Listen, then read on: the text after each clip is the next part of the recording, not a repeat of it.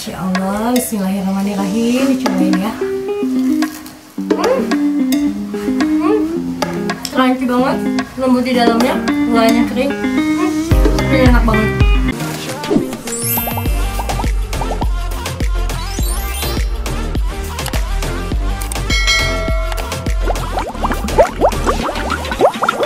Assalamualaikum, welcome back to my YouTube channel bersama saya Ugi Maika Food yeah. Yang tentunya selalu membahas tentang memasak simple, ide usaha dengan modal recehan dan mukbang ala aku. Nah, kali ini kita membuat churros yang gampang banget, anti gagal dan yang pasti saya akan berikan teknik-tekniknya supaya churros itu nggak melengkung-melengkung atau bengkok-bengkok.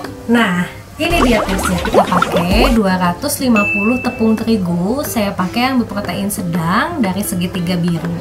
Kemudian 250 ml air. Kemudian saya pakai telur 2 butir. Kemudian ini mentega 4 sendok makan.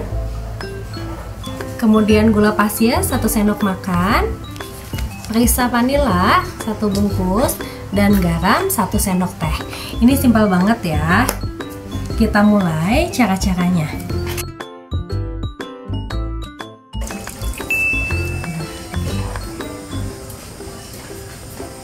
Nah setelah itu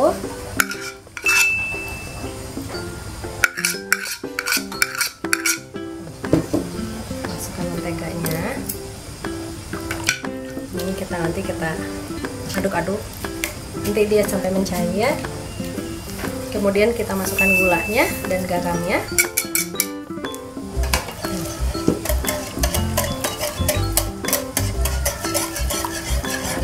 Aduk sampai merata. Sampai menteganya larut dan gulanya larut serta garamnya larut ya. Hmm. setelah ini kita masukkan tepung terigunya sedikit-sedikit sambil diaduk. Terus masukkan lagi sedikit demi sedikit sambil diaduk terus. Ini dengan api kecil saja ya. A few moments later. Nah, setelah seperti ini, kita matikan apinya terus kita ini sampai dengan dia kalis.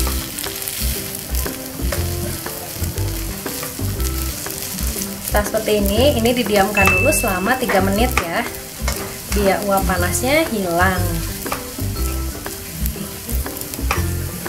Kita kocok lepas telurnya. Dan jangan lupa masukkan perisa vanilinya ya. Nih seperti ini. Kita kocok terus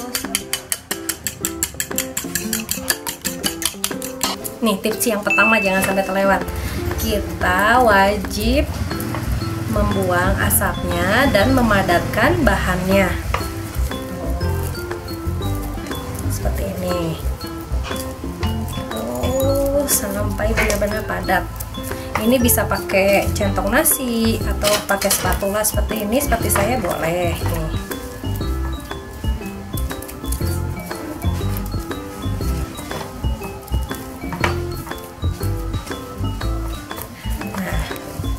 setelah seperti ini kita campurkan telurnya. Sedikit demi sedikit.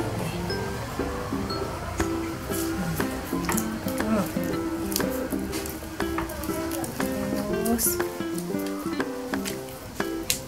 Kalau kalis itu sudah tidak menempel ya. Nah ini udah aman. Nah ini tipsnya. Supaya gampang masukinnya kita masukkan ke gelas seperti ini gampang banget. Ini kita bagi dua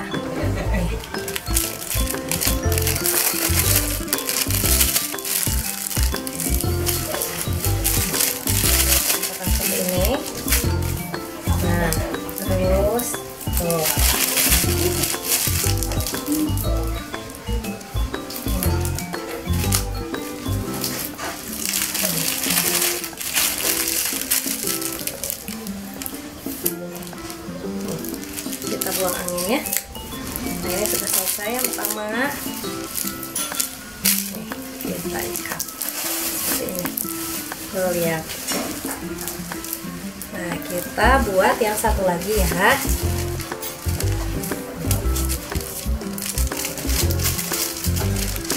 Kita cari plastik apa aja yang seperti ini. Kemudian kita gunting. Bagi dua. Sampai seperti ini. Ini kita jadikan untuk alasnya betulnya kalau ada loyang ini bisa diloyang. Tapi kalau yang nggak ada bisa plastik seperti ini juga oke okay nih. Tepung sedikit untuk alasnya. Nih seperti ini. Ini ratakan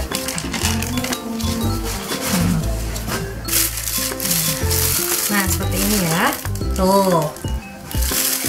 Nah sekarang kita akan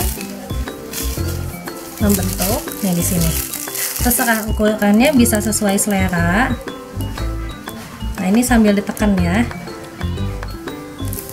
Terserah gedenya mau panjangnya segede apa. Nah ini setelah ini kita gunting. Nah lagi terus lanjutkan. Hmm. Hmm. kalau bikin yang lebih panjang juga boleh saya coba yang lebih panjang ya berapa nih?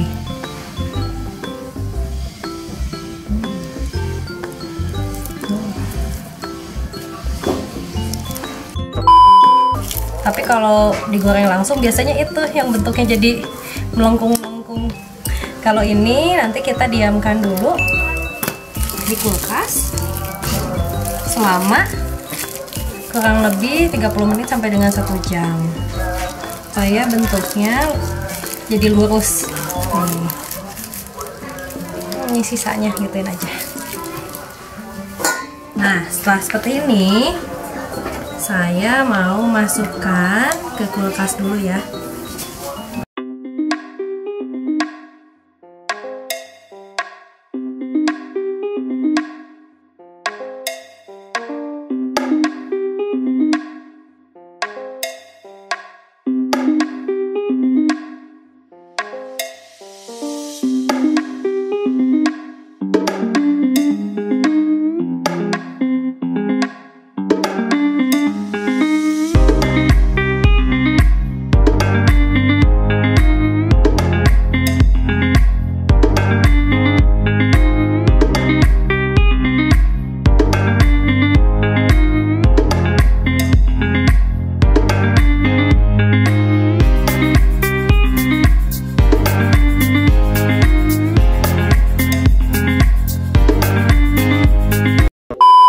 dua sendok makan. Nanti kita karena nggak punya gula pasir yang halus kita nanti campurkan dengan bubuk kayu manis kayak gini. Untuk toppingnya. Ini kira-kira satu sendok makan ya. Kita cok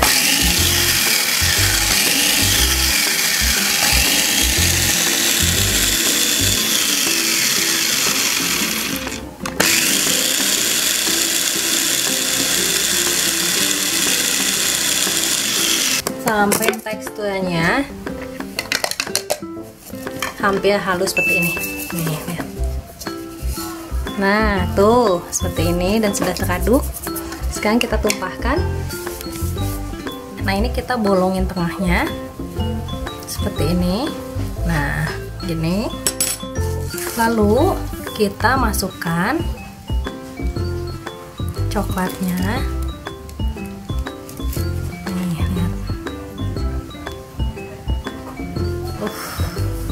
seperti ini. Tuh.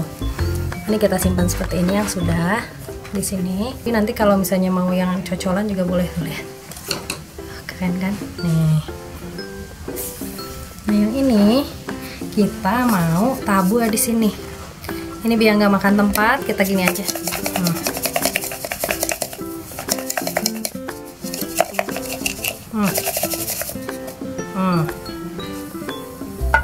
seperti ini.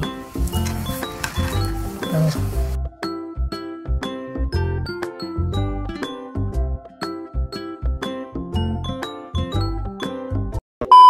lihat tuh nih.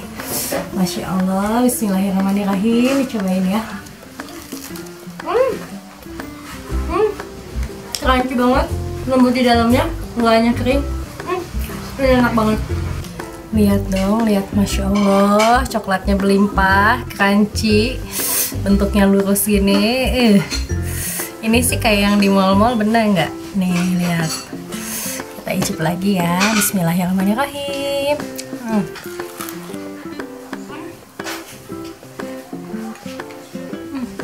Masya Allah ini enak banget.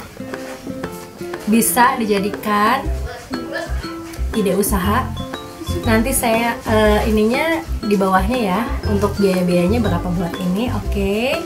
nah jika kalian suka video ini jangan lupa like, comment, and subscribe dan bagikan supaya semuanya bisa merasakan uh, enaknya keras ini.